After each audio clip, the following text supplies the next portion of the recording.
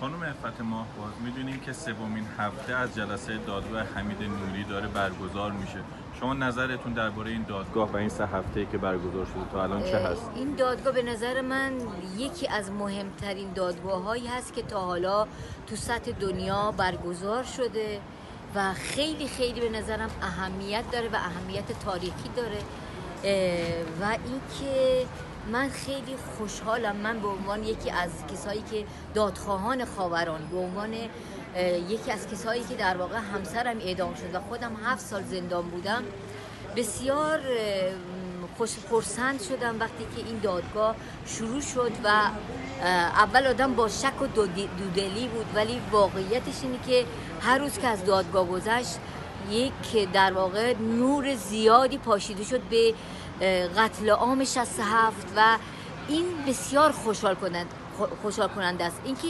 نتیجه دادگاه چی باشه من امروز رو اون نگاه نمی کنم نگاه می کنم که ببینم که این در واقع یک افشاگری بزرگ هست. بر علیه کسایی که این قتل عام رو انجام دادن و هیچ وقت فکر نمی‌کردن که روزی کسی پاسخگو باشه.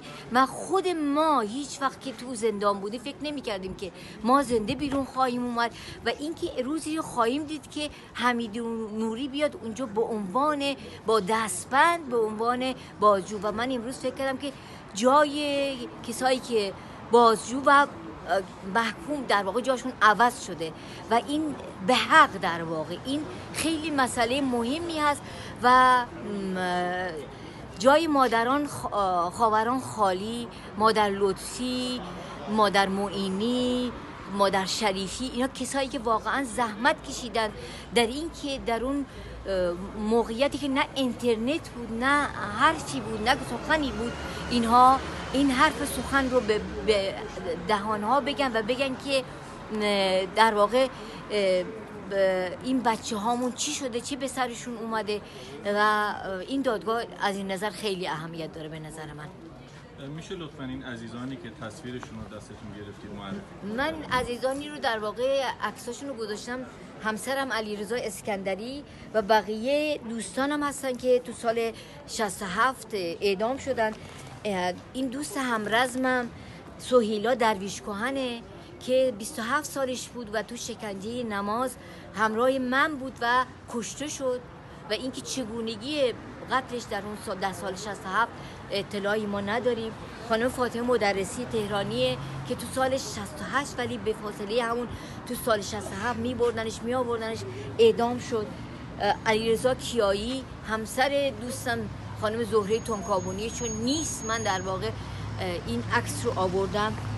آقای فرامرز صوفی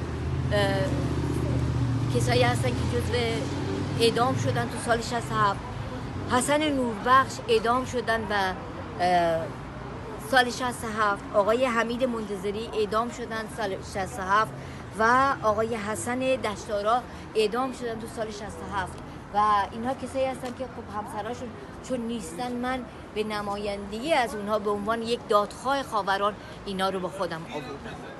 خب خیلی از خانواده ها و در واقع دادخواهان معتقدن که این دادگاه فارغ از نتیجهش امیدها به اجرای عدالت رو زنده کرده. شما همین طور فکر من همینطور همین فکر رو می‌کنن و یک چیزی که در واقع میگم اون وقتی که روز دوم اسم اسامی بچه ها رو خوندن من نبودم حضور نداشتم به دلیل مسخره کاری که داشتم ولی خیلی خیلی پیروزی بزرگی برای ما هست.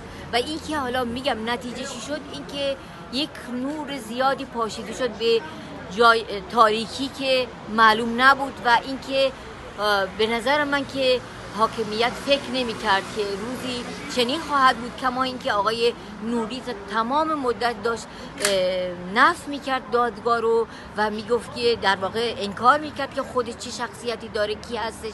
و من خوشحالم امروز به عنوان یک کسی که دادگار است. و یه نکته دیگه ای که من در حین روند این دادگاه به ذهنم رسید و به نظر من خیلی اهمیت داره گاهی وقتا آدم فکر می‌کنه که خب اینا فرمان بگیر بودن.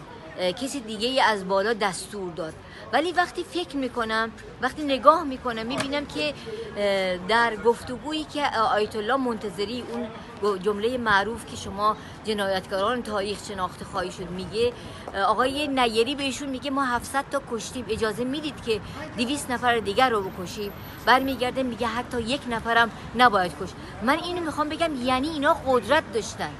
کسی از بالا نبود. اینا اینا بودن که شناسایی می‌کردن. اینا بودن که در واقع دستور می‌دادن و می‌تونستن بگن بیاد. و این نقش اینا رو در واقع برجسته می‌کنه به نظر من. خیلی سپاسگزارم منم از شما من.